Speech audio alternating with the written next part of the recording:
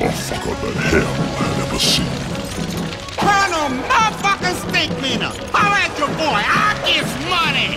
He trained like a beast. Y'all gonna have to kick me out of this bitch! I'm having the time of my life! He was so mad, he even called me the devil himself. Ah, Bitch ass nigga! This is how you break your foot off in a motherfucker's ass! Yeah! Yeah! Ah,